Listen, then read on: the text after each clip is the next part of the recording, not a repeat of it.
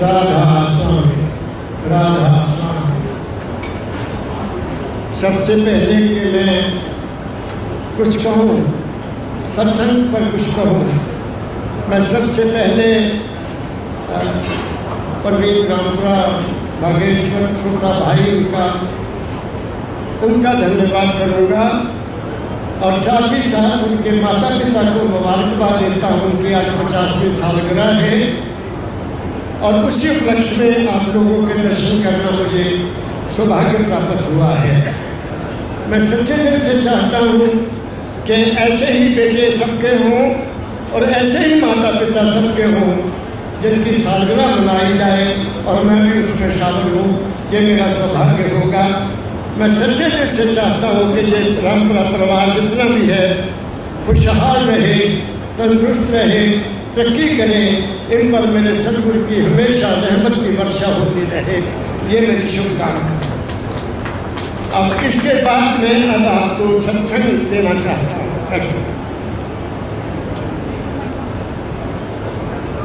इन सब मेरी बात को गौर से सुनते जाना। मैं हजूर बाबा फकीर जी महाराज अपने सदगुरु बाबा फकीर जी महाराज के दरबार होशियारपुर से मानवता मंदिर से आपके पास आया हूँ।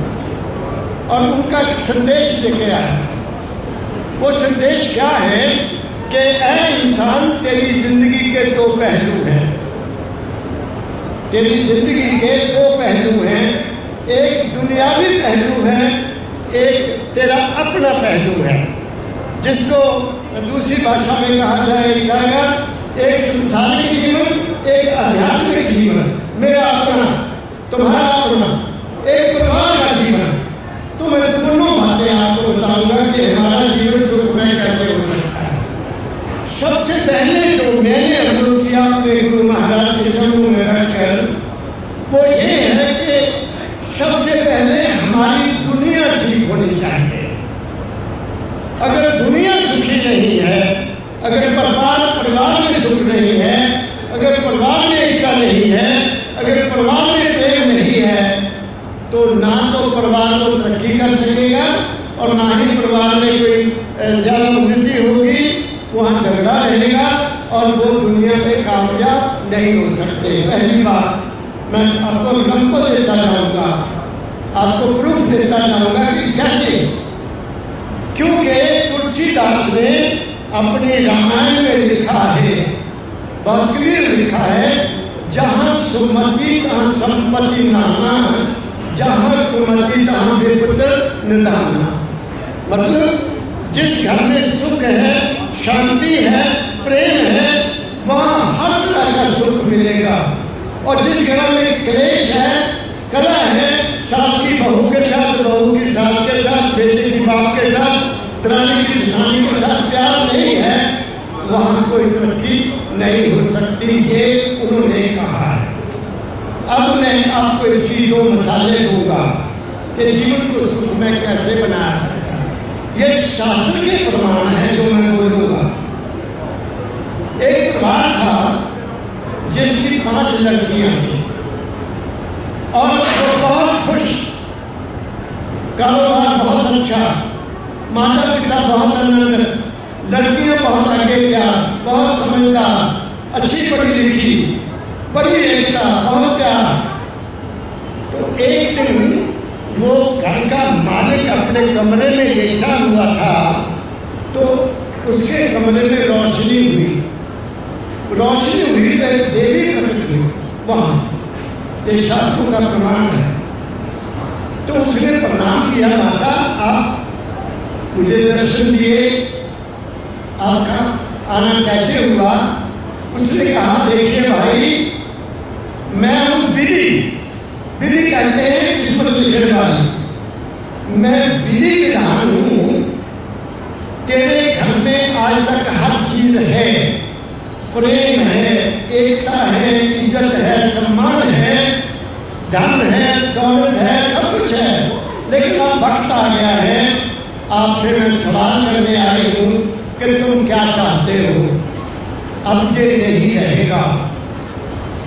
धन या तो धन चला जाएगा, एकता रहेगी, या एकता रहेगी, नहीं रहेगी, और धन चला जाएगा। दोनों में एक चीज़ मिलेगी आपको। बताओ क्या चाहते हो? उसने कहा, मैं अकेला फैसला नहीं करूँगा, अपने बच्चों को साथ लेकर बैठकर बात करूँगा, और मुझे समय दीजिए। उसने तीन दिन दे दिए। आगे बैठ के घर में आकर थोड़े परेशान तो सबसे छोटी बेटी कहती, पापा, आप आज परेशान क्यों लगते दो दिन से क्या बात है? बड़ी आई उसने भी पूछा, पाँचों आ गई पत्नी आ गई, आप क्यों परेशान है? उसने बोला, कि ये बात है। वो देवी माता आई थी, उसने ये कहा कि एक चीज़ मिलेगी बताओ, क्या चाहिए? उसने कहा कि उसको बोल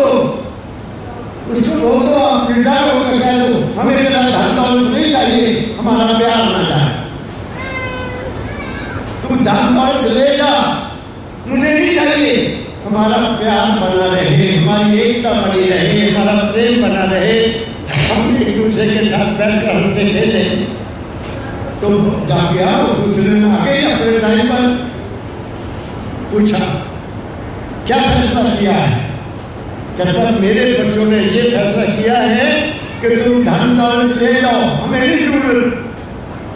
हमारी एकता, हमारा प्रेम आपसी मेल जोड़ के ना अपने लेके जाना कहती बस, यही तो मैं चाहती थी कि ना हो आपके घर में एकता। जहाँ एकता है वहाँ से धन ले जा नहीं सकती। जहाँ प्रेम है मेरा वहाँ काम नहीं चलता। जहाँ सुख है, शांति है अब इसमें हँसते हैं, खेलते हैं, सब एक जगह बैठ के खाना खाते हैं प्रेम है। मैं वहाँ दखल नहीं दे सकती। मेरी बात को आपने पकड़ा? जिस घर में कला है, मेरे बाबा फकीर जी महाराज कहा करते थे, पंजाबी में, जिस घर कला कलंदर बसे जिस घर पानी कटोर से। जिस घर में झगड़ा है, मियाँ बीवी का पति पत्नी का माँ बाप का, बच्चों का, वहाँ से घड़े का पानी भी सूख जाता है। और ये मेरे पास प्रमाण है प्रवीण रामपुरा और बहादुर शर्मा जी का परिवार, और जहाँ कोई कमी नहीं रहेगी, किसी बात की कमी नहीं रहेगी, क्योंकि मैं इनको बहुत सालों से जानता हूँ। इनका प्रेम ही मुझे यहाँ खर्च कर लाया, और मैं इनको आशीर्वाद देता हूँ इस घर में ये प्रेम बना रहे बना रहे और मैं भी आता रहूँ। एक बात, ये एक बात मैंने सुना है। अब एक कहानी और सुनाऊँगा जो शास्त्रों की है। एक साधु ने माँ को कहा, माँ, मैं साधु बनना चाहता हूँ। कहती, बेटा, ये बहुत कठिन है। शादी कराओ, घर में बैठो, मेरी सेवा करो। कहते नहीं मैं उदास हो गया, क्या है दुनिया? कुछ भी नहीं है। क्या है? सभी लोग हैं कोई दौड़ा हुआ है इधर, कोई दौड़ा हुआ है इधर। कहती तुम लेखे में हो, चलो जाओ। वो जंगल में चला जंगल में जाकर उसने भक्ति की। काफ़ी दिन भक्ति की। एक महीना, दो महीने कहीं से फल फूल खा लेने और फिर एक दिन आँख खोल ली कि मैं देखूँ, मेरे को कुछ ताकत मिली है? मेरी भक्ति की ताकत कुछ मिली है? तो चिड़िया चुग रही थी। चिड़िया चुग रही थी। उसने कहा, चिड़ियों, मर जाओ। चिड़िया मर गई। क्योंकि मेरे को आपने मर गई थी ना। कंसंट्रेशन से यहाँ जो आदमी कंसंट्रेट करता है, यहाँ मन को इकट्ठा करता है, उसकी फिर पावर बढ़ जाती है। तो मर गई। कहता, मैं तो कामयाब हो गया। मैं तो फिर कहता, देखूँ, मैं इनको पहले जी भी सकता हूँ। कहता चिड़िया उड़ जाओ चिड़िया उड़ गई चलो कहना मेरी भक्ति सफल हो गई अब मैं चलता हूँ जो चाहूँगा मैं मांग लेना मुझे मिल जाना आगे जा रहा है तो एक औरत कुएँ से पानी निकाल कर कर फेंक रही है कुएँ से पानी निकालती और डाल रही है ऐसे डाली जा रही है कहते बीबी पानी पिला दे उसने नहीं सुना पानी डाल रही जल्दी जल्दी निकाल कर कुएँ होते थे ना डाल रही है।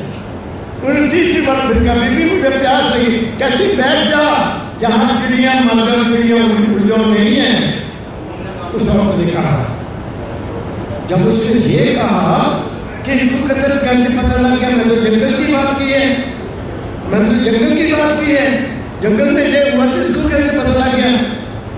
पानी तो उसने की पीना था, बैठ गया। बैठने के बाद जब वो पानी डालकर बैठ गई, फिर हाथ जोड़कर खड़ा हो गया, कहता, बीबी, मुझे बता, तुम क्या कर रही थी? कहती जहाँ से दस कोस पर मेरी बहन की कुंडली को आग लगी थी, मैं वो बुझा रही थी। अब और हैरान हो गया। कहता, आपको कैसे पता चला? कहते, सुन, बैठ। शादी कराई? नहीं। क्यों नहीं कराई? कहते मैंने देखा दुनिया ऐसी है मूर्ख है? कहता, फिर मैं क्या, कैसे बताऊँ तो सही क्या मेरी बात को दुनिया से आपसे हो कहते, जिस दिन मेरी शादी हुई तो मैं घर ससुराल आई। तो मैं भी सोई थी, मेरा पति भी सोया था। तो उन्होंने सुपने में पानी मांगा, पानी। और मैं एकदम उठी और मैं छन्ना छन्ना होता था। गिलास में छन्ना नहीं, आप लोग नहीं जानते। वो कस्से का होता था, बड़ा। वो पानी का भरा और लेकर खड़ी हो गए। मैंने जगाया नहीं अपने पति को। डिस्टर्ब नहीं किया कि वो गहरी नींद में है। जब जागेंगे तो मैं पानी पेश करूँगी। ऐसे छन्ना पकड़ा हुआ है, कहती मैं अपने पति के मुँह की ओर देखती रही मैंने आँख भी नहीं झपकी कि पता नहीं कब पानी मांग ले पता नहीं कब पानी मांग ले पता नहीं कब पानी मांग ले और मैं खड़ी रही देखती रही देखती रही देखती रही मेरा प्लास्टिक लग गया। तो उसकी जानते हैं? कंसंट्रेशन हो गई और मेरे अंदर प्रकाश हो गया। और मैं तेरे को दूर बैठी देख रही तू क्या कर रहा है? केवल पति के ऊपर चिंतन किया और मुझे ये ताकत मिली। और मैं बहुत सुखी हूँ। मैं बहुत आनंदित हूँ अगर इससे ज़्यादा कुछ जानना चाहता है तो वहाँ गाँव में चला जा, उस शहर में चला जा, वहाँ मेरा छोटा भाई है। बाकी ज्ञान जाके उससे ले कहता, मुझे कैसे पता पता चलेगा कि मेरा भाई वहाँ है? मैं, मुझे कैसे पता चलेगा? कहती, वो मांस बेचता है, मांस। जानवर का मांस बेचता है और उसका नाम ये है आपने चला जाना उसे तो खुद ही पहचान लिया अब उसको पानी तो क्या पीना था, पाँव से मिट्टी निकल गई। और वो चाकड़ा वहाँ पहुँच गया। ऊँचे पे बहुत जो बाज़ार था। तो उस लड़के ने दूर से देखा कि मेरी बहन ने इसको भेजा। उसका नाम आ गया मेरी बहन ने तो मुझे भेजा है। उसके पाँव से फिर मिट्टी निकल। गई क्या है? इसको कैसे पता? बैठ गया मुझे पता तूने क्या पूछना है? मेरा काम रहता है, काम खत्म होने दे, फिर घर चलेंगे, फिर मैं तुम्हें बैठ कर बताऊँगा। चलो, काम खत्म हुआ, उससे दुकान बंद की आदमी जो है घर आया, कहा, घर में माता पिता थे। सबसे पहले उनके पाँव धोए, उनकी सेवा की, रोटी बनाई माता पिता को खिलाई, फिर बैठ गया, कहता, आ जाओ, तुम भी रोटी खा, मेरे साथ बैठ कर कहता, कुछ तो बता दो कहता, तेरे को अभी पता नहीं लगा। तेरे को समझने लगी कि मुझे कहाँ से मिली ये ताकत। ये बैठे मेरे देवी देवता। माँ बाप इनकी सेवा करना ही मेरा धर्म है। मैं किसी भगवान की पूजा नहीं करता। मैं किसी देवी को नहीं मानता। मैं किसी देवता को नहीं मानता। सुबह उठकर इन्हीं के पाँव छूता हूँ काम पर चला जाता हूँ, रोटी खिलाता हूँ और फिर वापस आके इनकी सेवा करता हूँ। इनकी सेवा से मुझे मिला है। तो गृहस्थ कैसे सुखी रह सकता है? मेरा पहली बात, तुम्हारी दुनिया सुखी कैसे रह सकती है? ऐसे रह सकती है। लेकिन मैं ऐसे लोगों के संपर्क में आता हूँ ऐसे यहाँ दिल्ली से अभी एक महीना हुआ, एक नौजवान गया दिल्ली से। मैं सत्संग करके अपने कमरे में बैठ गया आराम करने के लिए तो वो आ गया।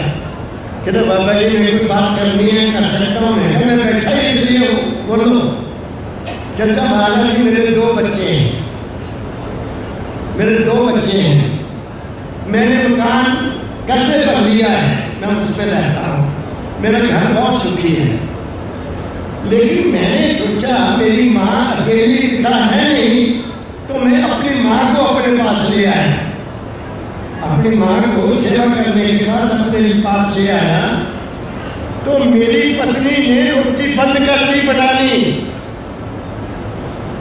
मैं क्या हुआ वो कहती, जा, इसको रख ले या मुझे रख ले, मैं नहीं इसकी सेवा कर सकती। किराए पर मकान ले लिया, वहाँ चल गए बच्चों को लेकर। महाराज जी, मैं क्या करूँ? मैं क्या बड़ा दुख की बात है भाई आज की हमारी लड़कियों को ये संस्कार मिल गए। कि सासू की सेवा ही नहीं करनी और आगे एक और बताता हूँ आपको, जो मैंने समझा। आजकल जो शादियाँ होती है ना तो लड़की की माँ, लड़की की माँ, लड़के की सास अपनी अपनी लड़की को घर से बैठी टेलीफोन पर बताती, क्या कर रही है? मम्मी, मैं रोटी बना रही तू मर गई तेरी सास, मर उसको क्या रोटी बना? तू रोटियाँ बनाने गई है। फिर करेगी शाम तू क्या कर रही है। मम्मी, में चालू दे रही फेंक चालू। तू नौकर रहेंगी ये करती है। आजकल जो सास, माँ, बेटे की सास ये कहती है, और मैं ये प्रमाण देता हूँ आपको। तो मैंने कहा, बेटा, बात सुनते और भाई हैं। कहते हाँ जी, दो और हैं। तो क्या, छोटा है, उसकी शादी भी कहता हाँ जी। मैं क्या वो माँ को रख सकता है कहता उसकी पत्नी मेरी पत्नी से भी ज़्यादा तेज। मैं कर ले। अब बेचारी की बदकिस्मत सिर्फ़ सिर्फ़ का ताज है नहीं तो फिर बड़ा भाई है, कहता हाँ जी। कहता, वो बहुत प्रेम करता है माँ से। मैं कहा, तू ऐसा कर, अपनी माँ को बड़े भाई पास छोड़ा और उनको पैसे भेज दिया कर। कहता, नहीं, माँ को मेरे को पेंशन मिलती है। मैं क्या पेंशन के अलावा पैसे देने हैं। ताकि तेरे भाई का तेरा बदल ना पड़े। और उस देवी को कह, देवी, मैंने माई माँ को वनवास दे दिया, तू आ जा। मेरा, मेरे बच्चे ना बर्बाद हो मेरे पास समझ एक और गया मुझे फरीदाबाद के फूल फरीदाबाद से लव मैरिज हुई। हुई वो कहता महाराज जी, मैं बहुत दुखी हूँ मैं क्या हो गया मेरी बहू अपने बेटे को लेकर चली गई मैं के तो मैं क्या करूँ मैं कर क्या कहती कहती तेरे मम्मी पापा के पास नहीं गया कहता मैंने कहा नीचे रहने तो तुम ऊपर रहे हो। कहती, मैंने तो अभी दर्शन ही नहीं करने। अब बताओ, ले दसो ऐसा हमारा जैसे सनातन धर्म का परिवार, जिसको हिंदू धर्म कहते हैं, वो बर्बाद हो रहा है। हमारी संस्कृति बर्बाद हो रही है। हमारी संस्कृति, इसलिए हम गिरावट में हैं। हम गिरावट के हो जा रहे हैं। कितने बड़े कितने सम्मेलन हो रहे हैं संत सम्मेलन हो रहे हैं। क्या हमारे समाज में कोई तब्दीली है? नहीं है। क्यों नहीं है? क्योंकि हम इंसानियत को भूल गए हम इंसानियत को खत्म कर दिया। और हमारा सनातन कहते हैं, शिव संकल्प मस्तु सर्वे मंतु सुखना सर्वे संतु नाम है सबका भला चाहो। जहाँ घरों में भला नहीं चाहते तो देश का क्या भला होगा? नहीं हो सकता। क्या कह रहा हूँ मैं? मेरी बात को समझे? तो ये मैं आपको कहानी सुनाई है। आज के जीवन की सुखी रहना है। तो घरों में प्रेम पैदा करो। घरों में सुख पैदा करो। घरों में एकता पैदा करो हक हलाल की कमाई खाओ, तुम्हारे लिए बीमारी भी नहीं आएगी। तुम्हें कहीं मंदिर जाने की ज़रूरत नहीं है, घर में ही मंदिर है। मन मंदिर, तन बेस के अंदर घाटे ही भीतर ना अंदर ही देखो जो कुछ है, तुम्हारे अंदर है। वो कैसे है? अब मैं वो टॉपिक शुरू करता हूँ। तुम कौन हो? हम कहाँ से आए? क्यों आए? किस लिए आए? और जहाँ कर हम करते क्या हैं? अब मेरी बात को गौर से सुनते जाओ। ये बात जो मैं आज कहने जा रहा हूँ, ये मेरे सतगुरु जिनका मेरे पीछे स्वरूप है। उनके आशीर्वाद और उनकी संगत से प्राप्त हुआ है।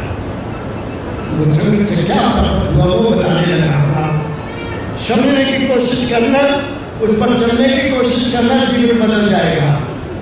मैं जानता हूँ इस बात को। जीवन बदल जाएगा। मत्था टेकने से जीवन नहीं बदलेगा। दूध खाने से जीवन नहीं बदलेगा। कैंची जाने से भी जीवन नहीं बदलेगा। आरती करने से भी जीवन नहीं बदलेगा। जीवन बदलेगा, मेरे कहने के अनुसार चलोगे तो बदल जाएगा। कैसे? शास्त्रों में लिखा है, जो ब्रह्मंडे सोई पिंडे। मेरी बात को बहुत गौर से सुनना। मैं कहीं से बोलने लगा। हूँ जो ब्रह्मंडे सोई पिंडे, ये ब्रह्मांड कैसे बना है? जितना ब्रह्मांड है, क्या है इसमें? पृथ्वी है, जल है, अग्नि है, आकाश में सूरज है, वायु है और आकाश ये पाँच चीज़ें हैं इससे ज़्यादा कुछ नहीं। पाँच चीज़ों का ये सारा ब्रह्मांड है, जिसमें हम पाँच तत्व के पुतले बने हुए, पाँच तत्व का पुतला हम बने हुए हैं। पाँच तत्व के पुतले में हम इस बड़े ब्रह्मांड में, छोटे ब्रह्मांड में बैठकर बैठे बैठे हैं। एक बात पकड़ो क्योंकि पाँच तत्व का बना है। हमारा शरीर जो है, ये पृथ्वी, जल, अग्नि, वायु और आकाश से बना है। मेरा शरीर जो है, इसमें पृथ्वी और पानी मिला तो ये बॉडी बनी। इसमें अग्नि आई तो मेरे में तप आ गया। इसमें वायु आई तो मेरे सांस आने लगा। इसमें आकाश तत्व आया तो मैं बोल रहा हूँ। जिसके शरीर में आकाश तत्व नहीं होगा, वो बहरा भी होगा और गूँगा भी होगा। प्रमाण देता हूँ आपको। तो हम बड़े भाग्यशाली हैं कि हमें पाँच तत्व का पुतला मिला, एक बार। अब सवाल ये है कि ये पुतला बना कैसे?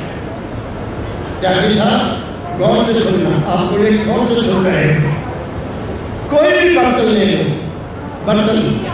सोने का, चांदी का, तांबे का, कांसे का, मिट्टी का, वो बर्तन हर किसी न किसी काम के लिए बनता है, ठीक है? कोई बर्तन बगैर काम के बगैर मतलब के नहीं बनता नहीं बनता ना? तो अब ये भी बर्तन है। इसको इसको किसने बनाया? मानव ने क्यों बनाया? क्योंकि इसमें किसको बैठाना था उसने? किसको बैठाना था? अपनी अंश को इसमें बैठाना था। अपने एक हिस्से को इसमें बैठाना था। और वो इसलिए बैठाया क्योंकि इसके पिछले जन्म के कुछ ख्याल रह गए थे। इससे पिछले जन्म के कुछ संस्कार रह गए थे। उन संस्कारों के अनुसार, उस पिछले कर्मों के अनुसार मेरे शरीर का ढांचा ने बनाया माँ के गर्भ में। जानते हो, मेरा शरीर आपका शरीर सब किसका कहाँ बना? माँ के घर में बना ना? बाहर नहीं बना। माँ के गर्भ में जो बना, वो मच्छ के रूप में आया। मच्छी के रूप में, कच्छ के रूप में बड़ा होना शुरू किया। बना के रूप में उसने जन्म लिया, फिर बावन बना, फिर नरसिंह बना, फिर परशुराम बना, फिर राम बना। ये हमारी स्टेजेस हैं। नौ स्टेजेस हैं हमारी। हम नौ स्टेजेस से गुजर हैं। अब वो शरीर क्योंकि मालिक ने दिया, अब अंदर कैसे परवरिश हुई तुम देख लो। अंदर में हमें खाना भी मिला, हमें पानी भी मिला, हमें सांस भी मिला कैसे मिला ये हमारी नाभि से एक नाड़ जाती है, वो माँ के शरीर के साथ जुड़ी हुई थी। और जो माँ खाती है तो उसका हिस्सा मुझे मिलता रहा। जो माँ पीती थी, उसका हिस्सा मुझे मिलता रहा। जो माँ देखती थी, उसका असर मुझे होता रहा। जो माँ सुनती थी, उसका असर भी मुझे होता रहा। जो जो माँ बोलती थी उसका असर भी मुझे होता रहा। और इसका प्रमाण मैं आपको महाभारत से दे देता हूँ। अभिमन्यु माँ के घर में था ना तो अर्जुन सुना रहा है, उनको अब चक्रव्यूह का आपने सुना होगा, कथा सबने सुनी। तो उसने माँ के घर में ही चक्रव्यूह में कहना सीख लिया। सीखा ना? तो हमें भी माँ के घर में कुछ मिला लेकिन अब क्या है? अब हमारी बच्चा घर में है तो हमारी माताएँ, हमारी बहनें, हमारी बहू, बेटियाँ क्या करती हैं? क्या देखती भी देखती हैं? उसमें बच्चे डांस करते हैं औरतें डांस करती हैं, पता नहीं क्या कर बुरे बड़े गाने गाते वो देखते हैं ना तो क्या उसका असर हमारे बच्चों पर नहीं होता? इसलिए जो हमारी मॉडर्न बच्चे आ रहे हैं, वो बहुत ही चुन रहे हैं। उनमें कोई संस्कार नहीं है तो संस्कारों के बगैर आ रहे हैं। इसलिए हमारे समाज की तरक्की आगे के लिए बहुत गहरी है, खराब है। हड़तालें हो रही हैं, बसें चला रही हैं, गाड़ियाँ चला रहे हैं, क्योंकि ये चीज़ें घर में उन्होंने माँ बाप से सीखी। यही हो रहा है ना? क्या कह रहा हूँ लेकिन कुदरत ने हमें तैयार किया, वहाँ कोई कमी नहीं रहने नौ महीने के बाद हमें मालिक ने तुम पूरा हो गया चल बाहर बाहर आ गए अब वो जो खाने वाली नारी वो तो उसका सप्लाई क्या होनी थी नर्स ने काट दिया सप्लाई बंद हो गई जैसे सप्लाई बंद हुई माँ के स्थलों में दूध आ गया नहीं आया ये किसने इंतज़ाम किया किसने किया इंतज़ाम नए बच्चे के लिए दूध का आना उसी वक्त जब नाड़ू काट दिया जाता है तो क्या हमें विश्वास नहीं आना चाहिए कि हमारा कोई मालिक है? हमारा कोई करता है? हमारे को जन्म देने वाला है? कोई ताकत है जिसकी देखभाल कुदरत कर रही है, मालिक कर रहा है? लेकिन हमने ही इस बात को मानते हैं। और फिर जब दांत निकलते हैं तो माँ का दूध सूख जाता है ले रोटी खा ऐसे होता है। आगे चलता हूँ, अब मैं आगे चलता हम बड़े हो गए, शादियाँ हो गई। हम खाते हैं, पीते हैं, या होटल में भी खाएँगे। अपनी मन मर्ज़ी का जो मर्ज़ी खाओ, खाएँगे ना? हम जो खाते हैं, कोई आदमी मुझे बताएगा कि मैं उसको बचाता हूँ? कौन बचाता है? तुम डांस करते हो, रोटी पच जाए वर्जिश करते हो, कुछ करते हो, कुछ नहीं करते हैं, एक रोटी पच गई। कौन बचा ध्यान से सुनना। तुम बिल्कुल पूर्ण हो, पूर्ण। पाँच तत्व का ये पुतला। इसमें पाँच ज्ञान इंद्रिया आँखें, नाक, कान रसना पाँच कर्म इंद्रिया हाथ, पाँव और हमारा बोलने की ताकत। पाँच, मन चित्त बुद्ध, अहंकार, तुम चौदह कला हो। चौदह कला हो। इसी शरीर में पाँच अवगुण है या गुण है। उनको लोगों ने अवगुण कहा, मैं उनको अवगुण नहीं कहता काम, क्रोध, लोभ, मोह, अहंकार, वो भी हमारे में है। हमारे में नहीं संतों में भी है गुरुओं में भी है बड़े बड़े देने वालों में मैंने देखा उनमें भी ये चीज़ है मैं वो भी बताऊँगा कि उसका क्या करना है? इलाज क्या है? एक पाँच चीज़ें और हमारे अंदर हैं। अंदर। वो किसी को नहीं पता। मुझे पता। क्यों? क्यों पता? एक बार उन्नीस सौ पचहत्तर की बात है, मैं आज ये बात बताता हूँ ताकि लोग मेरी बात को समझे।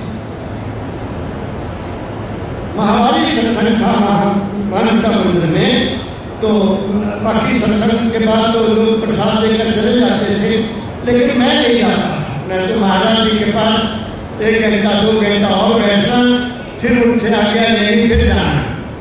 तो दो प्रोफेसर भी आए हुए थे वहाँ। तो महाराज जी के पास बैठे, मैं भी साथ बैठ गया। कि देखो, ये महाराज जी से कोई अध्यात्म की बात करते हैं? कोई ऊँची बात करते ही नहीं? लेकिन वो डम ऋषि की बात कर रहे थे। ऋषि रमन हुए ना? तो मैं भी बीच में बोल पड़ा, मैं कहा, नहीं, मैंने ऐसा पढ़ा अब आगे सुनना क्या कहा? मेरे सतगुरु बाबा फकीर जी ने उनको कुछ नहीं कहा। मुझे पूछते बेटा, तुम भी किताबें पढ़ लेते हैं ऐसी। मैंने कहा पिताजी, क्योंकि कॉलेज में पढ़ाता हूँ तो मैंने भी पढ़ा है। मुझे आदेश दिया। मुझे आदेश दिया। आज के बाद पूरे किताबें नहीं पढ़ना है, आपने अपने मन की किताब को पढ़ना है। बहुत बड़ी किताब दे दी मुझे। मन की किताब। किताबें बंद कर दी। उस वक्त तो मैं पढ़ाता था टाइम नहीं मिलता था। बिज़ी रहता था। और कुछ लिखता भी था। तो मैं तब तो नहीं ये ध्यान दिया। जब मैं रिटायर हो गया तो फिर वो सारी फ़िल्म मेरे सामने आ गई। मेरे सदगुरु की कि मुझे क्या हुक्म है? फिर मैंने सभी किया। मन की किताब है कहाँ? कहाँ है? मन मेरे अंदर है। मेरे अंदर बात तो है नहीं। बात तो तब से जाता है जब देखता है, जब सुनता है, तभी बाहर जाता है ना? तो मन तो है ही नहीं। मन है नहीं, लेकिन हमें उसको होगा बना दिया। मन ये करता है मन तुम्हें नचाता है। अगर गुरु मिल गया तो मन नाचना बंद कर देता है। कैसे बताता हूँ? जिन्होंने मुझे नहीं देखा आज से पहले उनके सामने मैं नहीं आऊँगा। उनके मन में मैं नहीं आऊँगा क्योंकि तुमने मुझे देखा ही नहीं। लेकिन आ, आज के बाद आप सोचेंगे कि एक आदमी ऐसा था उसने ये बातें की आएगा ना जो नहीं देखा वो जो देखा वो ही आएगा जो चीज़ नहीं खाई उसका आपको जायका ही पता। जो चीज़ नहीं सुनी, उसका भी आपको कोई ज्ञान नहीं है। तो ज्ञान मन को कहाँ से मिला बाहर से मिला। बाहर से मिला। तो फिर मैंने कहा, नहीं, बाहर का ज्ञान किसी काम का नहीं है। अपना ज्ञान लो, मैं कौन? अंदर हमारे पाँच ऑर्गन्स हैं। बड़े, मशहूर ऑर्गन ऑर्गन जानते हैं बॉडी के पास बॉडी के पास एक है हमारा लंग्स सांस लेते हैं फेफड़े नंबर वन नंबर टू हमारा हार्ट नंबर थ्री हमारा लिवर जो खाने को पचाता है। नंबर फोर हमारी आ, हमारी क्या उसको बोलते किडनीज नंबर फोर नंबर पाँच हमारा पैनक्रियास जो हमारे बॉडी के ग्लूकोज को नॉर्मल करता है। ठीक है? अब जो कुछ भी हम खाते हैं उनका उनका सारा प्रभाव इन पर पड़ता है। इन पर पड़ता है। इन्हीं के कारण हम बीमार होते हैं। ये कमज़ोर हो गया बीमार हो जाएँगे। हमारा खाना बिगड़ गया हम बीमार हो जाएँगे। इसलिए चाइनीज़ एक, एक लाइन है we eat diseases through our mouth हम बीमारियों को अपने मुँह से खाते हैं। वैसे बीमारी कोई नहीं है। एक बात। अब हमें पता ही नहीं है कि रोटी पचती कैसे है। नंबर वन तुम्हारी नब्ज चलती है। तुम्हें पता है? नहीं पता। तुम्हारा हार्ट धक धक कर रहा है। आपको तुम्हारा कोई रोल है हार्ट को? आपके दिल पर कोई है? कि मैं इसको धड़क रहा हूँ, मैं मेरी ताकत है। नहीं है ना? ना हमारे हार्ट के ऊपर कोई कंट्रोल है, ना हमारे पाचन क्रिया पर कोई कंट्रोल है, ना हमारी नब्ज नाड़ी पर कोई कंट्रोल है। और और क्या आगे बताऊँ? हम सांस लेते हैं। कोई आदमी कह दे, मैं बड़ी बड़ी बैठकों में कह देता हूँ दशहरे पर कह देता हूँ पर कह हज़ारों लोग बैठे थे कोई आदमी कहे कि सांस मेरा मैं लेता। हमारा मेरे मन ने समझाया कि तेरा शरीर पर कोई अधिकार नहीं है। तो किसका अधिकार हुआ? जिसका इस ब्रह्मांड पर अधिकार है। पूरा ब्रह्मांड सूर्य टाइम पर चलता है, मौसम बदलते हैं, कोई कोई उसमें दखल देता है? किसी की ताकत है सूरज को कह के तुम रुकता नहीं चलना। जो ताकत इस ब्रह्मांड को चला रही है, जिसको हमने अल्लाह का नाम दिया, जिसको हमने खुदा का नाम दिया, जिसको हमने राम का नाम दिया, जिसको हमने भगवान कृष्ण का नाम दिया, ना जाने हमने किस किस नाम के उसको पुकारा। लेकिन देखा नहीं है, देखा किसी के नहीं। नाम दे दिए। और उसको छोड़ो। उसी ताकत की हस्ती हमारे अंदर है। जो ब्राह्मण को चला रही बड़े को, वो हमारे शरीर को भी चला रही है। तो फिर किसको ढूंढा जाए?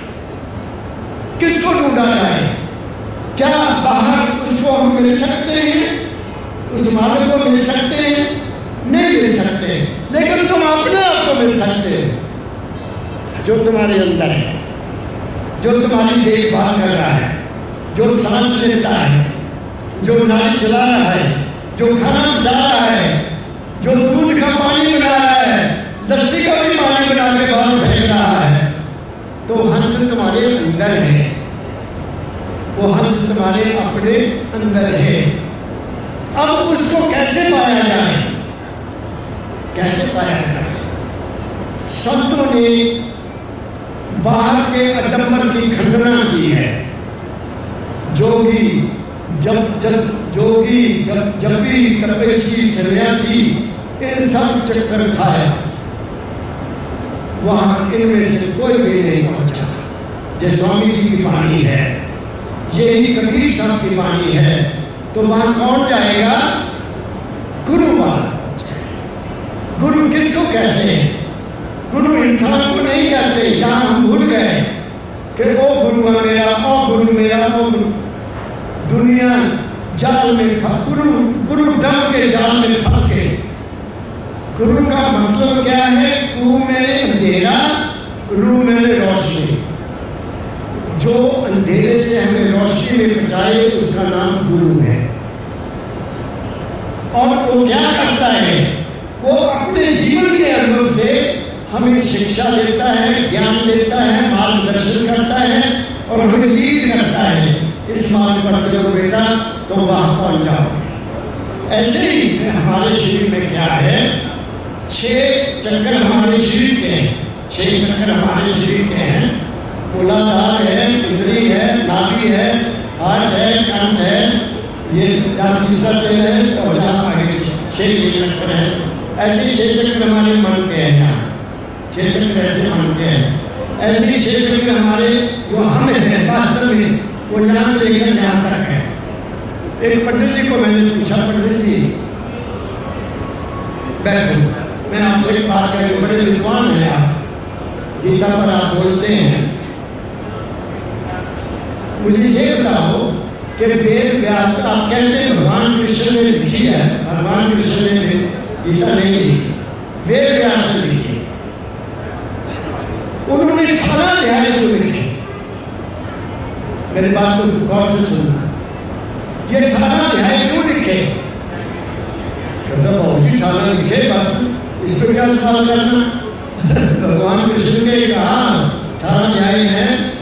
मैं कल ये बात नहीं है पंडित जी। आप गीता को डिटेल में पढ़ो। ध्यान से पढ़ो। ये कहानियाँ ना करो भगवान कृष्ण नहा रही थी। गोपियाँ नहा रही थी कपड़े उठा कर ले गए। ये ये गीता है। ये गीता है ही नहीं तो तुम कहते हो। गीता का तुमने मतलब ही नहीं समझा। तुम लोगों को मिसगाइड करते हो। अठारह अध्याय क्या है? छह चक्कर हमारे शरीर के, छह चक्कर हमारे मन के, और छह चक्कर हमारी भक्ति के। छह चक्कर से भगवान ने क्या कहा? कर्म करो। तीन मार्ग है हमारी ज़िंदगी के। कर्म ज्ञान, कर्म करो। और इस कर्म करने की फिलोसफी में मैंने अमेरिका में देखा, कनेडा में देखा। वहाँ किसी घर में भी ना जलाल जला जाता है, ना ना ज्योति जलाई जाती है। हमारे इंडियन भारतीय लोग किसी घर में ज्योति नहीं जलती, कहीं घंटी नहीं बजती ना? कोई आरती नहीं होती। वहाँ का धर्म क्या है? Work mean worship work mean worship काम ही पूजा है? कर्म करो। ये शरीर कर्म करने के लिए मिला है। और जो कर्म तुम्हें मालिक ने दिया है, उसको ये समझो कि ये मेरा कर्म नहीं है, उस मालिक ने मुझे दिया है। और मैंने इसको अपनी ईमानदारी से करना है। जो इंसान अपनी ड्यूटी को समझेगा कि ये मालिक ने मुझे दिया है, वो कभी हेरा फेरी नहीं करेगा। जो ऐसा करते हैं, काम मेरे को टेलीफोन आते बाहर से। मैं पूछता हूँ, दिन है? क्या कहाँ हूँ? मैं दफ्तर में हूँ महाराज जी दफ्तर में। टेलीफोन बंद करो। सरकार के टाइम में आप मेरे से बात करना चाहते हो, तुम प्राप्त हो, तुम सरकार की चोरी करते हो। मैं नहीं किसी से बात करता अपने टाइम में मेरे से बात करो। सरकारी टाइम में मेरे से बात मत करो। क्योंकि ये मुझे बाबा फकीर ने बताया। मैं हर मैं हर काम को उसका काम समझता हूँ। यहाँ आया हूँ, ये उनके काम में कर रहा हूँ। मेरा नहीं है।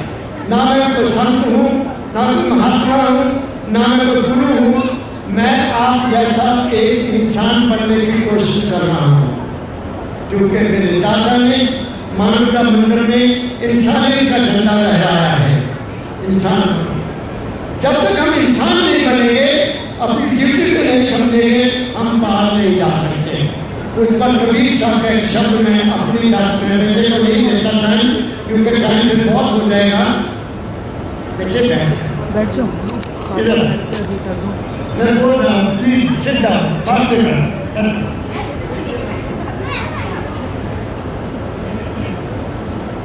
कबीर साहब ने कहा है बहुत ऊँची बात कही उन्होंने। ध्यान से सुनना। दया राख धर्म को पाले जग से रहे उदासी। धर्म क्या है? इंसान का अपना धर्म क्या है? ड्यूटी ड्यूटी कैसी ड्यूटी? बेटे के रूप में माता पिता के प्रति ड्यूटी। पति के रूप में, पत्नी के प्रति ड्यूटी।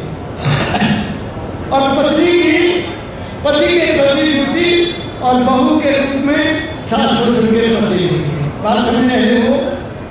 मैं कोई शास्त्रों की बात नहीं कर रहा, मैं जीवन को जीने का राज बता रहा हूँ। दया राख धर्म को पाले, फिर आगे पति बन गए, पिता बने तो बच्चों के प्रति क्या कहा मैंने जब तुम ऐसा काम करोगे, तुम निर्लेप होकर ज़िंदगी में जियोगे। तुम्हारे मन पर कोई बोझ नहीं आएगा। तुम्हें खुशी मिलेगी, तुम्हें आनंद मिलेगा। माँ बाप की सेवा करके देखो। मैं आपको बता देता हूँ, मैं यहाँ क्यों बैठा हूँ? इस जहाँ तक मैं कैसे पहुँचा? मेरे पिता और मेरी माँ का आशीर्वाद मुझे बाबा फकीर के चरणों में लेकर गया और बाबा फकीर ने मेरे सिर पर हाथ रखकर मैं आपके चरणों में आ गया।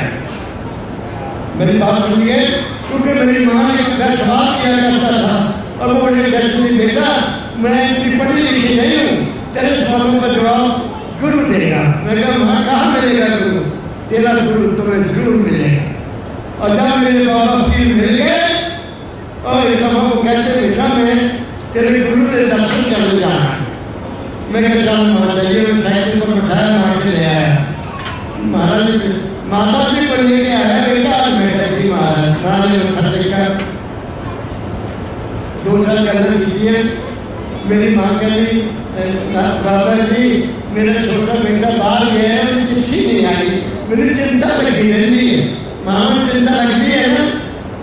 तेरे महाराज कहते माँ तेरी चिंता नहीं करनी परसों चिट्ठी आ जानी है चलो तो ਅਸੀਂ ਆਏ ਮੱਥਾ ਟੇਕਿਆ ਮਹਾਰਾਜ ਨੇ ਕਿਰਪਾ ਕੀਤੀ ਹੱਥ ਰੱਖਿਆ ਘਰ ਆ ਗਏ ਤੀਜੇ ਦਿਨ ਮੇਰੇ ਕੋਲ ਦੀ ਚਿੱਠੀ ਆ ਗਈ ਮੈਂ ਆਇਆ ਘਰ ਮੈਨੂੰ ਕਹਿੰਦੀ ਕਾਕਾ ਤੇਰਾ ਗੁਰੂ ਬਹੁਤ ਡਾਡਾ ਡਾਡਾ ਜਾਣਦੇ ਨਾ ਉਹਦਾ ਕੋਈ ਮੁਕਾਬਲਾ ਨਹੀਂ ਮੈਂ ਕਿਹਾ तेरे आशीर्वाद ਨਾਲ ਮੈਨੂੰ बाबा के मिला अब देख मेरे को क्या करना मैं गीता की बात कर रहा हूँ छह चक्कर शरीर के कर्म करने के लिए कर्म करो। जो भी मिला, उसमें गड़बड़ मत करो। आज आदमी पैसे के लिए इतना भूखा हो गया है कि अपनी ड्यूटी की बजाय और कामों में ज़्यादा व्यस्त रहता है। इसलिए हम कभी सुखी नहीं हो सकते। हक हलाल की कमाई खाओ। बीमारी नहीं आएगी। वरना देश कितने हॉस्पिटल खुल गए? आज से पचास साल पीछे झाँक के देखो। आज से चार साल पीछे जान के सात साल देखो। कैसे हॉस्पिटल थे? नहीं थे। कोई किसी को शुगर की बीमारी नहीं थी। किसी को बीपी नहीं था। गुड़ खाते थे, शक्कर खाते थे, वो ज़िंदा नमक खाते थे। मिठाई का तो स्वाद ही तीन मिठाइयाँ होती थी, सर। एक जलेबी वो भी कभी दशहरे पर जाने वाली पर वो और जब एक लड्डू और एक बेसन, उसके अलावा कोई मिठाई नहीं होती थी। आज दुकानों में देखो। ओ, नीचे से ऊपर तक न जाने क्या तुम खा रहे हो? मिठाई हमारे लिए जहर है। मैदा हमारे लिए जहर है। चीनी हमारे लिए जहर है। और ये नमक हमारे किडनी को खत्म करने वाली पहली बीमारी है। हमारे मेरे मेरे दादाजी एक सौ पाँच साल के होके मरे, मेरे पिताजी अठानवे साल में गए, वो भी एक्सीडेंट हो गया था उनका इस करके मेरे दादा एक सौ दो साल में गए। क्यों? काम करते थे शक्कर खाते थे। रात को आते थे काम करके और थाली होती थी, थाली बड़ी। से उसमें शक्कर डाली एक और घी की डाली मिक्स करना और सामने में मिल जाती। छोटे नसीब बड़े खुश पापा होगा तो सामने शक्कर मिल जाएगी। समझ गए? आज हमारा खाना बिगड़ गया। हम कैसे तंदुरुस्त रहेंगे? नहीं रहेंगे इस शरीर को कर्म में लगाओ। इस शरीर को जितना कर्म कर सकते हो करो। मैं मैं उन्नीस सौ छियानवे में रिटायर हुआ कॉलेज से। दादा से प्रॉमिस किया था कि रिटायरमेंट के बाद मैं घर नहीं बैठूँगा बाबा मैं तेरी शिक्षा को दुनिया में फैलाऊँगा। और मैं बिज़ी रहता हूँ, खुश रहता हूँ। आप लोगों के दर्शन करने आ गया। मेरे जैसा सौभाग्य किसका प्राप्त होगा? किसका सौभाग्य हो सकता है? हो ही नहीं सकता। बात समझिए क्योंकि मैंने कर्म को समझ लिया। गुरु की रुचि कर रहा हूँ। इसलिए मेरे कमी हो ही नहीं सकती। मुझे कोई चिंता हो ही नहीं सकती। मैं थकता ही नहीं। मुझे चार घंटे तक पठा रखो मैं बोलता जाऊँगा बोलता जाऊँगा बोलता जाऊँगा। और मेरी बात को पकड़ते जाओ। मेरी बात को पकड़ते जाओ, मैं क्या कह रहा हूँ? तो मन किसके लिए? मन है शुभ संकल्प के लिए। हमारा सनातन धर्म क्या कहता है? शिव संकल्प मस्तु हमेशा नेक ख्याल रखो। हमेशा पॉजिटिव से थिंकिंग रखो। हमेशा सबका भला चाहो। कहने सर्वे भगवंतु सुखना सर्वे संतु निरामया। मैं सनातन धर्मियों को पूछता हूँ, तुम ये इस पर चलते हो? कौन चलता है इस पर कोई किसी का भला माँगता है? सब कहते मेरा लाइन में खड़े होकर टिकट लेते, आगे आगे भागते हैं। मेरा हो जाए मेरा है। नहीं हो रहा हमें अपने धर्म को ताक पर रख दिया। सनातन धर्म को ताक पर रख दिया। और भगवान को मंदिर में बंद कर दिया। बाकी जो मर्ज़ी करो, वो तो मंदिर में बैठा है। वो मंदिर में नहीं बैठा। वो तुम्हारे साथ है। तुम्हारे अंग संग है। मैं छोटा था, दस, आठवीं, नौवीं, दसवीं में पढ़ता था तो मैं अपने बाबा जी को बाहर जाया करता था खेतों में। गाँव में रहते थे ना तो बाहर लाकर फिर उनको कुएँ पर नहलाना। तो कुएँ पर नहाने के बाद वो मुझे अपने पास कहते, बेटा आज सुन मैं कहा हाँ बापू जी हमारे साथ दो आदमी हमेशा रहते हैं। मैं कहा बापू जी दो आदमी रहते कब रहते कहाँ रहते कहते वो नज़र नहीं आते। मैं कहा क्या करते बाबा जी? बाबा जी बापू जी कहते थे हमको कहते एक दाएँ कंधे पर बैठा रहता है यहाँ। उनके पास डायरी है डायरी अच्छे कर्म लिखने जो करते हैं वो ये लिख रहा है बुरे कर्म वो ये लिख रहा है। और जब हम यहाँ शरीर से निकलेंगे, वो हमारी आत्मा को पकड़कर वहाँ ले जाएँगे जामराज के। जब बुरे कर्म किए तो जामराज के पास ले जाएगा।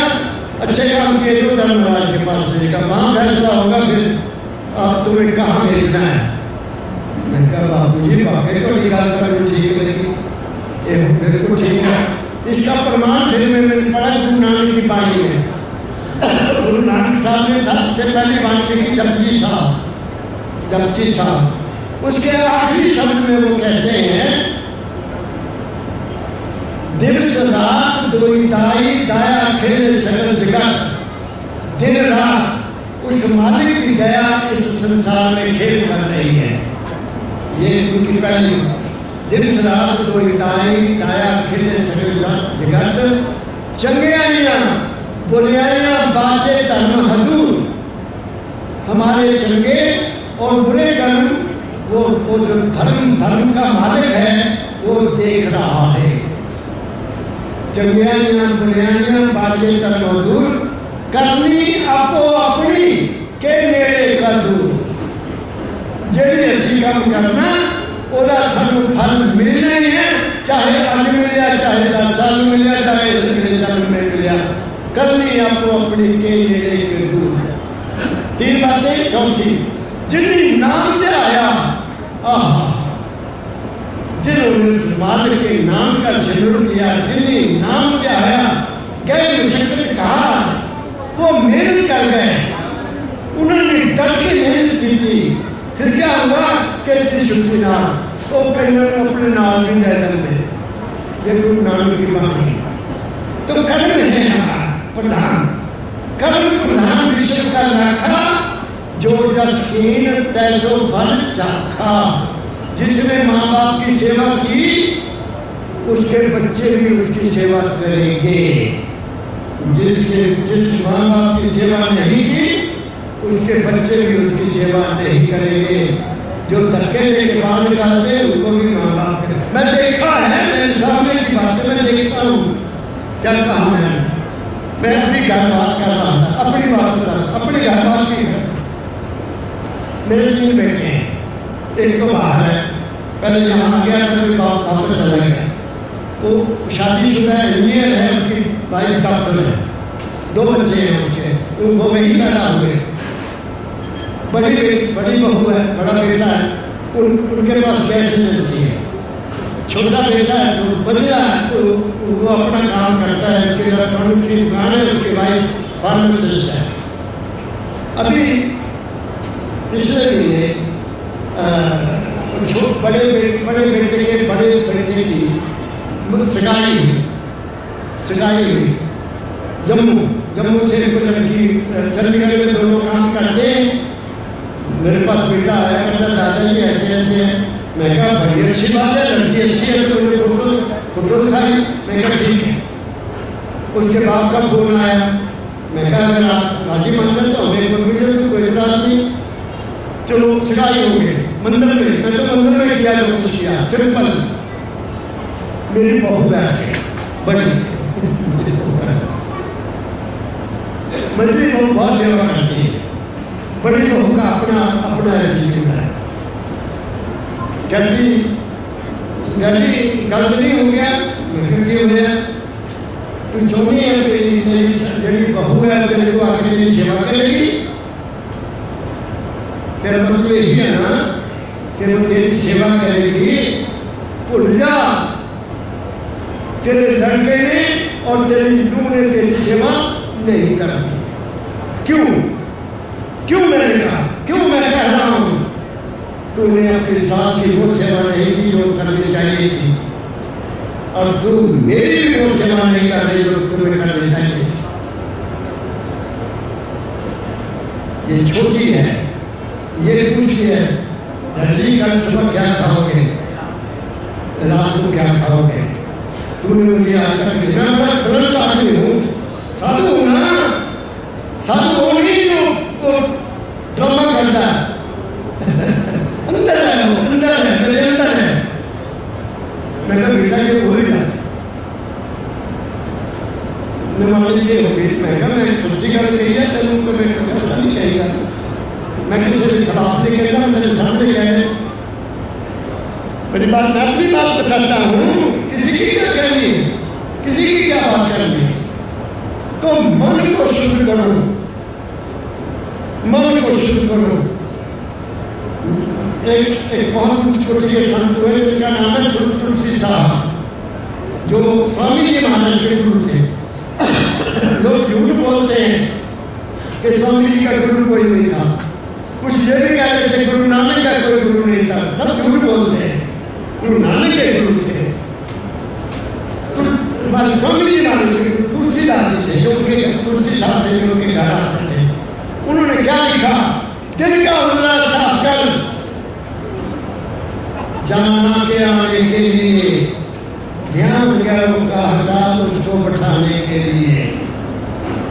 हमारे दिमाग में तो दुनिया बैठी हुई है वो ऐसे करता है वो ऐसे करते हैं चुगली करते हैं निंदा करते हैं बुराई करते हैं बुराई करना छोड़ो किसी की चुगली करना छोड़ो किसी की निंदा करना छोड़ो किसी को नीचा समझना छोड़ो जैसा तुम सोचोगे वैसा तुम बन जाओगे? ठीक ग्रेट दूसरे के लिए भला सोचो, उसके बच्ची की भी शादी हो जाए। उसके बेटे को भी नौकरी मिल जाए, मालिक सच्चे पातशाह उसकी सेहत ठीक रहे सच्चे पातशाह ये बेनती करो, मालिक के पास, तुम्हारे लड़के की भी शादी हो जाएगी, तुम्हारे लड़के को भी नौकरी मिल जाएगी, और तुम्हारी बीमारी भी तुम तो कहते हो वो बीमार हो जाए मर जाए तुम कैसे सुखी रह सकते हो तुम किसी लड़की की शादी अच्छी होगी पति अच्छा आए ਉਹਨੂੰ ਬੜਾ ਚੰਗਾ ਜਵਾਈ ਮਿਲ ਗਿਆ शादी तो उदा ही होती है पता नहीं फिर तू ਉਹਦੀ ਜ਼ਿੰਮੇਵਾਰ है तेरे ख्याल अच्छे नहीं मैं तो सीधे कह देता हूँ माता यू और तुम अपनी अपनी बेटी का जन्म बर्बाद कर देना क्यों दखल देती हो उसके घर में क्यों उसको कहती कि तू ये कर ये कर ये कर ये कर? नहीं चलती तो आ जा अपने को उठाइए क्यों उठाइए। लेकिन दुनिया इस बात को समझती नहीं। हमारा शरीर हमारा शरीर क्या, हम क्या है? आपके लिए शरीर नहीं हो। आप अकेला मन नहीं हो। आप अकेले आत्मा नहीं हो। दुनिया सारी कहती है शरीर मानो आत्मा आत्मा आत्मा। तुम तो तीनों के ऊपर रहने वाले हो। तुम तीनों से ऊपर रहने वाले हो। तुम चेतन शक्ति हो। तुम चेतन शक्ति हो। तुम उस महान चेतन शक्ति के अंश हो। अगर चेतन शक्ति ना हो शरीर में मिसाल के तौर पर सतगुरु बाबा की जी ने, मैं बैठा था दो आदमी और सियाने जड़े उन्होंने बोले वो बैठे थे। तो पिताजी कहते बच्चों, तुम्हें बताऊँ? मैं पिताजी, ज़िंदगी और है, हस्ती और है। ज़िंदगी और है, हस्ती और है। फिर उन्होंने मिसाल दी। मैं ये बोलता हूँ कि एक एक बात को याद रखता हूँ। एक लड़का नौजवान सड़क पर जा रहा है। पीछे से गाड़ी आई। उसको गिराती है, उसकी टांग के ऊपर से निकल जाती है, टांग चूर चूर हो जाती है। गाड़ी निकल वो लड़का चिल्ला रहा है, खून बह रहा है। लोग उठाते हैं हॉस्पिटल में ले जाते हैं। उसका मोबाइल देखते बता नंबर क्या तेरे माँ पापा उनको बना लेते हैं। तो डॉक्टर कहते हैं, देखो, आपके बेटे की हालत बड़ी सीरियस है। अगर बच्चे को बचाना है तो टांग काटनी पड़ेगी। टांग काटनी पड़ेगी। अगर नहीं काटेंगे तो इसकी क्योंकि खून जा रहा है। लॉस ऑफ़ खून हो जाएगा, इसकी डेथ हो जाएगी। तो माँ बाप कहते दस दिन कराओ, बस टांग काटो फिर क्या करता है डॉक्टर इंजेक्शन देता है। देता है वो बेहोश हो जाता है। वो चिल्लाना बंद कर देता है। आँखें बंद हो जाती हैं। और वो आदि से उसकी टांग काट के मसाला लगा के बाँध कर देते हैं। अब वो माँ लगा रही वो नहीं बोलता। नब्ज चल रही है, हाथ भी चल रहा है, डॉक्टरों ने मशीन लगाई हुई है हार्ट की पल्पिटेशन देख रहे हैं कि लो तो नहीं हो रहा नब्ज भी देख रहे हैं कि नब्ज ठीक चल रही है एवरीथिंग नॉर्मल लेकिन ना वो बोल सकता है, ना वो देख सकता है ना वो हाथ लगा सकता है, कुछ कर सकता है। तो क्या हुआ? वो जो चेतन शक्ति थी, मेरे सारे शरीर में चल रही है। आपकी चेतन शक्ति जो है, वो सारे शरीर में चल रही है, ऊपर से नीचे नीचे से ऊपर। उसके कारण हमारा कॉम्पिटिशन चल रहा है नमक चल रही, सब कुछ चल रहा है। वो एक हस्ती है जहाँ जहाँ वो हस्ती वहाँ चली गई। वो बेहोश हो गया। संत क्या कहते हैं? संत क्या हदायत देते हैं कि जागृत में होश में रहते हुए, नाम का सहारा लेते हुए, गुरु की आज्ञा का पालन करते हुए अपने इस चक्कर से ऊपर जाओ ऊपर जाओ और अपने आप को पहचानो तो कौन हो? तुम्हारी ज़िंदगी के सारे मसले हल हो जाएँगे। क्या कहा मैंने तो हमारा जो शोरा है, इसमें शरीर है तत्व का एक मन है, जिसको कहते हैं शुद्ध ब्रह्म शुद्ध ब्रह्म से बना के। नेक ख्याल से बना।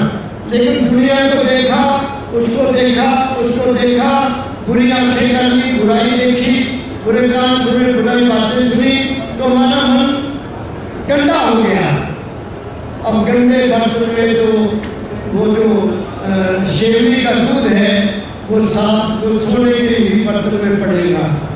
इसको सोने का बना लो। कैसे? अपने विचारों को शुद्ध कर दुनिया के संतु ने कहा है, मैं कहता हूँ, मैं कभी कभी कह लेता हूँ बंदा बन बंदा बन कर्मंदगी बंदा बन कर्मंदगी। तीनों बंद लगाया। घट में ही है माल खजाना जो खाजे सोपा। जो खोजेगा वो ही पाएगा। बाहर नहीं है मैं बुरा तो नहीं मानूँगा, एक बात करूँ। मैं कल इतवार की बात है। मैं देख की बात करता हूँ। मेरे पास चार मेंबर आए फैमिली के। सत्संग खत्म हो गया, इतवार की बात है, इसी बात। तो लड़की मेरे सामने बैठ गई। एक डब्बा, एक इसमें क्या नाम है सेब, वो बैठ गए। उसका हस्बैंड भी बैठ गया, उसका ससुर भी बैठ गया, उसकी सास ऊपर बैठ गई। ससुर नीचे, सास सोफे पर। कहते अच्छी औरत है। तो जितने पति बैठा तो भी उठे बैठ। नहीं वो सोफे पे क्या बताओ कैसे आए? कहाँ से आए? लुधियाने से। मैं प्रेम को बोला प्रेम। लुधियाने से आए चाय बनाओ पहले। सबके लिए चाय आ गई। बिस्कुट खिला। मैं कहा, आप कैसे आए? बाबा जी, आपका आशीर्वाद लेने। मैं क्या अच्छा आशीर्वाद मेरे लिए क्या लाए? मेरे लिए क्या लाए? तो कहती, सेब। मैं कभी सेब का खाते नहीं तो मेरे जाने तो कभी भी नहीं खाने मैं किसी का प्रसाद नहीं खाता मैं समझ गया। बोलो क्या चाहते हो? महाराज, चार साल हो गए हमारे बच्चा नहीं हुआ। क्या अच्छा सोचो क्यों नहीं हुआ? आपके घर में बच्चा क्यों नहीं हुआ? सोचो तुम सोचो नहीं था। वो लड़का मैनेजर, बैंक का। और उसका ससुर अकाउंटेंट कहीं से रिटायर हुआ। लड़की भी अच्छी उस पर लगी हुई तुम खुद खुद सोचो हो गया मैं क्या बेटा तू किसको मानता है? मेरी बात को ध्यान से सुनना। कहता महाराज जी, मैं हनुमान को मानता हूँ अच्छी बात है, बहुत खुशी की बात मैं क्या बेटी, उसकी बहू पूछा, तू किसको मानती है? मैं बाबा जी, भगवान कृष्ण को मानती हूँ। बहुत अच्छी बात है। उसके पति को पूछा, मैं क्या बाप भाई साहब, आप किसको मानते मैं तो जी शिव का पूजा पुजारी हूँ शिव की पूजा करता हूँ। और उसकी पत्नी ने पूछा, मैं क्या दिल्ली तू किसको मानती है? उसमें किसी देवी का नाम लिया। मैं क्या, वाह रे वाह मोटा तो देखा करता सारे देश के अंदर तो तुलसी संभालना तो हम किसी उनकी शिकायत कमी हो ही नहीं सकती। दसो, क्यों नहीं थोड़े लड़का हो गया दसो, मेरे मापे दसो तुलसी तू हनुमान की पूजा करता है, तेरी पत्नी कृष्ण को मानती है। और ये शिव के पुजारी है, और तुम्हारी सास कृष्ण को मानती है। तो वैसे घर से देखा नहीं, कमरे लग लगे हुए हैं। मूर्तियाँ भी लगी हुई हैं। कभी नहीं कुछ रहेगा असि बारी बारी सारे तू बत्ती करते हैं। किसी ने तुम्हारी मदद नहीं करनी। बहुत घरों का मेहमान, भूखा रहता है। एक ही सादे सब सदे, सब साधे, सब जाए। एक को पकड़ो। एक को पकड़ो। मैं कभी किसी को नहीं कहता कि तुम, मैं कहता हूँ, जिसको भी मानते हो, देवी को मानते हो तो एक को मानो। देवता को मानते हो तो एक को मानो। गुरु को मानते हो तो अपने गुरु को ही मानो, बाकी कोई नहीं। पर दुनिया की बात समझ में आती नहीं। मैं अपने जीवन का प्रैक्टिकल बताता हूँ फिर अगली बात बताता हूँ। मेरे आदमपुर मेरे शाहपुर से कोई दस किलोमीटर पर है, वहाँ एक दुकान है। वो आए मियाँ बीबी बच्चे सारे बाबा जी, हमारी दुकान नहीं चलती। हम चाहते हैं आप सत्संग करो हमारे घर में। मैं अच्छा सत्संग करने से दुकान चल जाएगी? आ जाऊँगा जब मैं गया, उन्होंने लोगों ने खाना भी खिलाया। तो फिर कहा महाराज चल सारी दुकान भी देखो मैं चला गया, चलो उधर भी चला गया। तो दुकान के मेरे बाबा जी की भी फ़ोटो लगी हो, एक होर गुरु की फ़ोटो लगी हो, एक होर गुरु की फ़ोटो लगी हो, फिर भगवान शिव का भी लगा हुआ, फिर एक दो देवता की होर फ़ोटो लगी हो। उधर नाम दुआ था, दुआ, मैं दुआ साहब, आपकी दुकान फेल हो जाएगी। कहते, महाराज, क्या कर मैं कहा इतने बंदे थे खड़े की तो देवी देवता ये तक मंदिर नहीं होंगे वो कहता, मैं बड़ा वो कहता, मैं बड़ा तू कहता, मैं बड़ा नहीं समझी मैंने क्या करिए मैं क्या इधर इनमें से बता तू किसको मानता है? मैं सबको मानता हूँ। मैं फिर मैं चल गया। मैं चाहता हूँ मेरे को कहा नहीं बुलाया। नहीं महाराज जी, तुझे हुक्म करो। मैं क्या एक पर हाथ रखो? मेरे गुरु का फ़ोटो भी तुम उतार दो, मुझे कोई गुनाह नहीं है। तुम जिसको मानते हो, उसको रखो।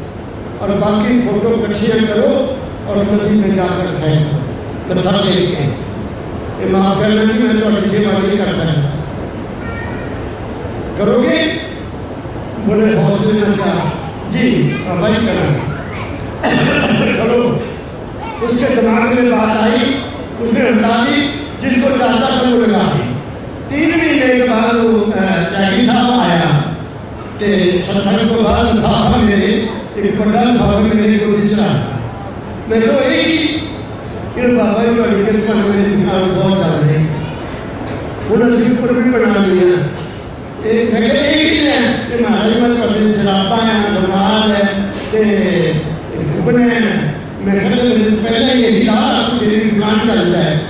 बात समझ गए रिश्वत मैं कहा मैं भी रिश्वत लेता भाई।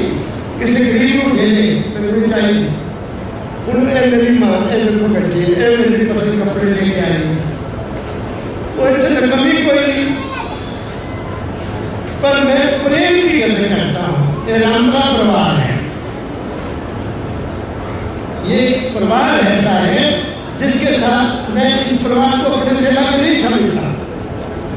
बात समझ गए मेरी मैं इनके नए मकान पे गया पहले दूसरे में मेरे सतगुरु का स्वरूप लगा हुआ मैं खड़ा ही हो गया वहाँ इन्होंने कमरे में मारा मैं क्या कमी तुम्हें ज़िंदगी में कभी कोई कमी नहीं रहेगी नहीं है एक के हो जाओ मन एक है तो दो माने एक ही है ना शरीर भी एक है मन भी एक है आत्मा भी एक है और तुम भी एक हो एक शरीर सबल ब्रह्म से बना भोजन से बना मन ख्यालों से बना आत्मा पार ब्रह्म से प्रकाश के रूप में आई प्रकाश ही है ना अंदर और क्या है गायत्री मंत्र पढ़ो क्या कहती है अंदर जाओ अपने अंदर सदगुरु रूप सूक्ष्म और कारण रूप से आगे तीसरी चौथी स्टेज में जाओ, तुम्हारे अंदर सूर्य का प्रकाश है,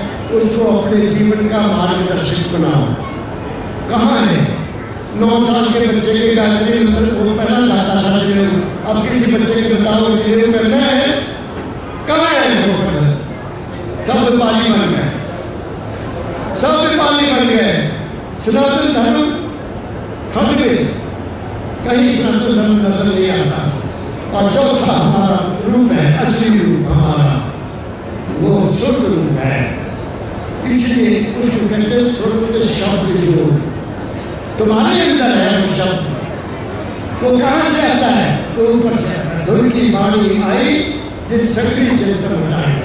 जब तुम उससे मिल जाओगे, फिर ज़िंदगी की कोई कमी नहीं रहती है। क्योंकि तुम मालिक की गोद में चले गए। तुम मालिक की गोद में चले गए। तुम तो पैसे की गोद में हो या इज़्ज़त की गोद में हो या तेरे मेरे की गोद में हो, या धर्म की गोद में हो तो मैं बता रहा था कबीर साहब दया धर्म को पाले जग से अपनी ड्यूटी की थी रात को बड़ी मजना नींद आ गई नींद आएगी। मालिक को जान करो। मैं एक सत्संग में कह था तुम नींद के लिए गोली क्यों खाते हो? मेरी गोली खाओ। नींद आए एक बीबी खड़ी होगी बाबा जी, मेरे को नींद नहीं आई मैं कहा, मेरी गोली खाओगी? हाँ जी, मैं खाऊँगी। मैं कहा फिर सत्संग तो बाद में लेना है। मैं तेरे कल ही लगा करूँगा। वो आ गई। मेरे तो बारह बजे तक मेरे नींद नहीं आनी तो मेरे नौ बजे उठती है मैं कहा तुम्हें नींद आनी कितना है और हमारा खाना कितने बजे खाते हैं। दस बजे, सोना कितने बजे खाना खाते टीवी देख रही और टीवी खाता नहीं खाना तो खा कॉलेज से ही तक जाता ही। खाना खाओ, प्रेम से खाओ। कुछ ना सोचो। वो प्रसाद है वो तुम्हारी ज़िंदगी। वो तुम्हारा भोजन तुम्हारी ज़िंदगी है। जब आखिरी समय आता है तो आदमी रोटी छोड़ देता है। नहीं खाता।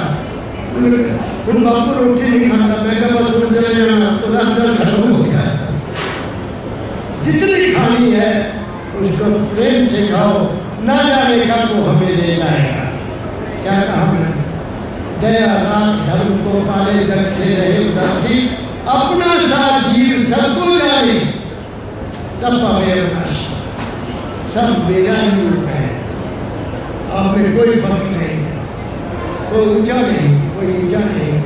सब में वही माल के गुण के अंश तुम्हारे अंदर है।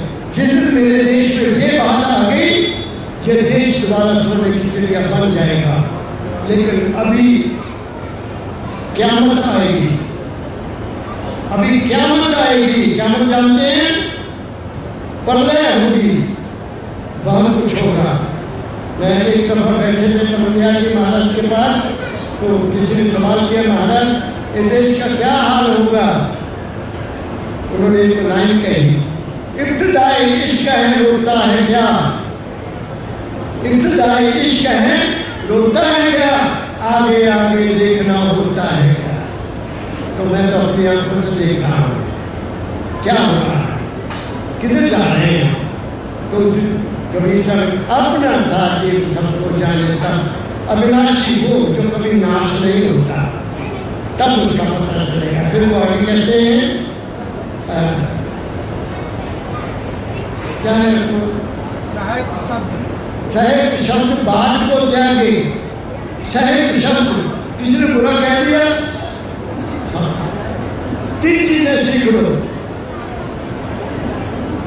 जिसके जिसमें सहनशीलता नहीं है वो दया नहीं कर सकता। सहनशील होता नंबर वन आपको क्रोध नहीं आएगा। नंबर टू संतोष करो ज़िंदगी में। संतोष।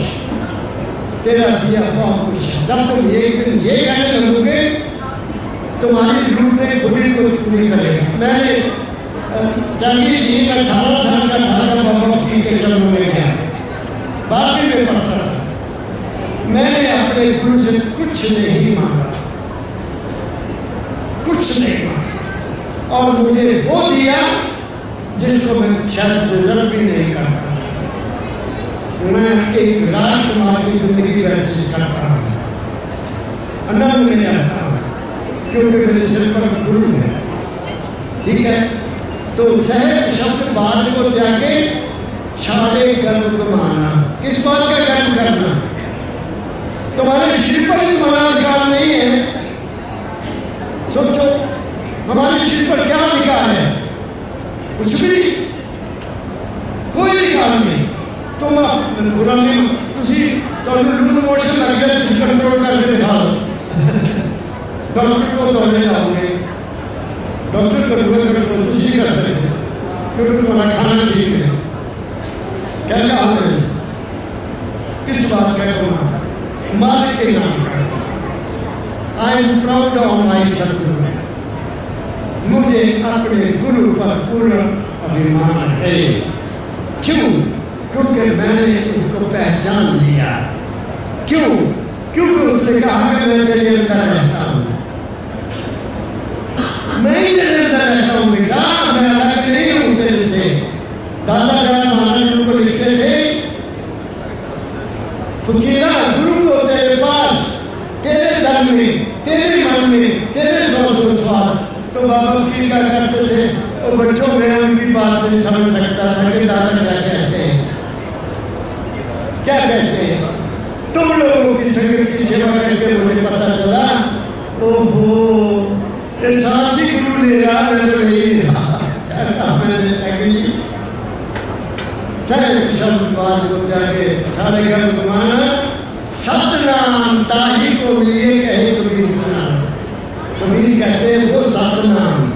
वो वो वो वो स्थान, वो टीचर वो अल्टीमेट प्लेस उसी को मिलेगी जो इन बातों पर चलेगा। घंटी बजाने से नहीं, यात्रा करने से नहीं, तप करने से नहीं, व्रत करने से नहीं जल करवाने से नहीं, वो नहीं मिलेगा। घट में है, घट में है सूजित नहीं। गुरु नानक साहब कहते हैं घट है सूजित नहीं, लानत ऐसी जिन नानक इस संसार को हुआ मोतिया में मोतिया में जानते हैं नज़र नहीं आता।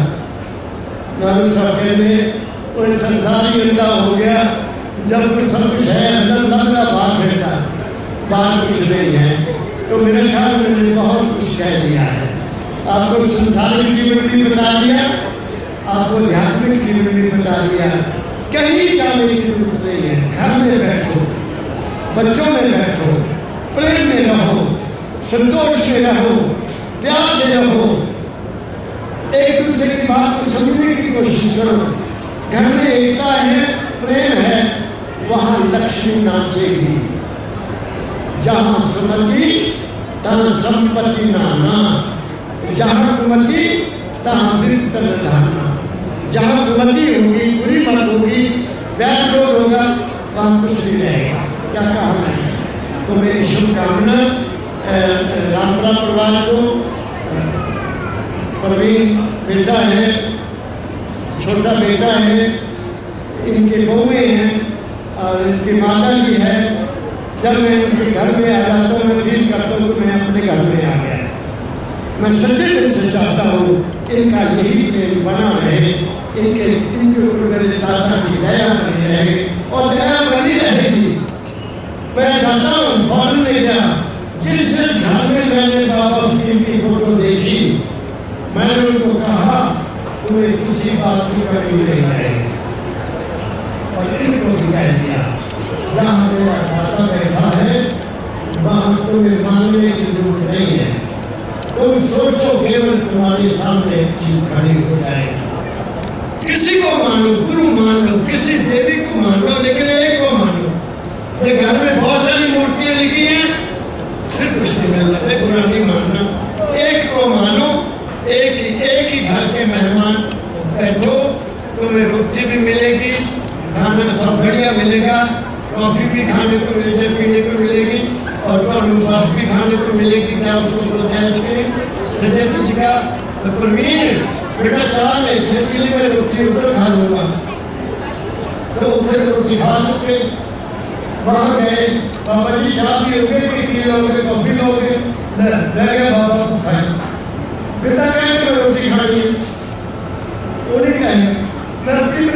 हूँ मैं का डैडी जी मेरे दोस्त इंडिया आ रहे हैं वो गुरुवारा के पास गाँव है तो बहू के लिए अनुराधा के लिए कुछ कपड़े ले देना हम लिए कपड़े पाँच चार सौ कपड़ा लेगा लेकर थैला बढ़ाया। मैं और वाइफ दोनों गाड़ी में कुछ चलाता चला तो नवा शहर में मेरा दोस्त मेरी बहू का बच्चे जो पिता है वो एस पी था। पुलिस क्या बोलते हैं एस पी सुप्रीम पुलिस तो मैंने चलते चलते उनको मिल जाते हैं उनके वहाँ चले गए तो उन्होंने चाय चाय भी पिलाई क्या क्या खाने तो मैंने कहा अपने जान कहती मुझे उन्होंने कहती बहन जी मैं रोटी खा के जाऊँ टाइम हो गया नाश्ता कर लो वो मैं क्या बेटे मैं क्या भैन जी असं आधे घंटे तो थे पहुँच गए वो कनेडा तो आए रोटी भी खिलानी है सू कनेडा तो आए नाले मेरे बेटे दोस्त है। चलो असी जाते जाते क्या नाम मार्च का महीना से घुमाए क्या आपको बोलते हैं? फिर राष्ट्र फिर राष्ट्रीय है। चलो दुकान है जूस पी लिया और वो मुझे भूख और ज़्यादा आ गई क्योंकि रोटी चला के खानी। जिस होते पहुँचे, तब मेरी बहू ने चाहे और दारू ये रख मुझे सारे सामने। तब मैं खुशबू ना वहाँ पे इतना बड़ा खुशबू आ गई तो रोटी बनती के नहीं थे कितने नहीं चाय पी रहे हैं तो जब वो सवाल आ गया तेरा करेगा तो आया उन्हें काले ते गुड़ रखा ताला गर्म। गलत बाबू जी मज़ा लग गया तो उन्होंने चाह क्यों डाली उठा सुना क्या बाप रे बाप तो मज़ा ही लग गया There is something here you need to put a child in this. मैं तो खाना का चार अच्छी नीति मैंने कैसे सीखा मैं अपनी भाई को इशारा करता मैं क्या बात उसने ये फिर मिलना। मैंने चलो चार महीने में रखा शादी से वैसे तो चिंता नहीं करनी मेरे पास एक अपने ज़रूर पहुँच जा रहे हैं। मैं कहीं नहीं पड़ेंगे मानने को तो सारा ख्याल रखना ऐसी आए, ऐसी आपकी बंगी और दिखा के मैं कुछ नहीं समझ मैं कहिए तब मैं आया तब वो देखा दे नासी हमेशा चांदों के नाम उनका तकिया में तो बुरा हाल हो रहा तो जितना अंदर खानी चाहिए इनका देव हो मैं तो इनका ना हो गया और मेरे साथ को पकड़ी वहाँ तक नहीं तो मैं बैठ जाता कभी साहब कहते हैं। अब टाइम ज़्यादा हो गया तो मैं तुम्हें झूठ सुना देता है। मेरे सतगुर पकड़ी बांह नहीं तो मेरे बाबे ने बांह फड़ी और जिथे होंगे मैं दौड़ जाना मैं जाता हूँ। आप सुखी रहो। आपके दर्शन दिए मेरा सौभाग्य है। आपसे मिलना चाहता था। कमलेश बेटी से मिलना चाहता था। मुझे खुशी हुई। आप लोग के दर्शन हो गए। और इस परिवार के लिए और सभी मिलकर प्रार्थना करें। ऐसी जोड़ी सलामत रहे। और सारी जोड़ियाँ सलामत रहें मालिक से बुला ना करे, ये मेरी शुभकामना मेरा सदगुरु आप सबकी मनोकामना पूरी करे। अच्छा सोचना है, बुरा नहीं सोचना सुबह उठकर सिर्फ़ ये कहा करो ऐ मालिक, सबका भला कर। बस। और कुछ मांगने की ज़रूरत है। ऐ मालिक, सबका भला कर। तुम्हारा भला पहले हो जाएगा। इन्हीं शब्दों के साथ आप सबको बहुत बहुत प्यार भरी राधा स्वामी राधा स्वामी राधा स्वामी